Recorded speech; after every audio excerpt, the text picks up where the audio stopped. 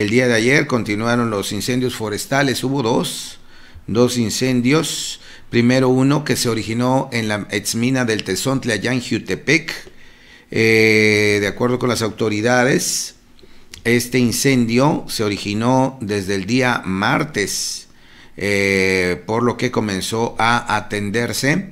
De acuerdo con la información con la que se cuenta, eh, se debió este incendio a la acumulación por parte de terceras personas de material combustible, residuos de jardín y áreas verdes para la elaboración de composta en un predio colindante a esta zona. Es la exmina de Tezontla, ubicada en el municipio de Jutepec.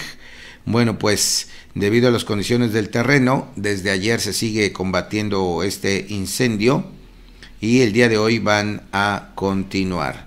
Así es que se sospecha que, bueno, la acumulación de combustibles originó este incendio que ya se está tratando, se está controlando, eh, no se dijo en qué porcentaje ya se tiene el control, pero eh, sí se dijo que se hace un llamado a la ciudadanía a colaborar evitando el incremento de conflagraciones forestales, urbanas o de interfase, eh, pues teniendo todos los cuidados pertinentes.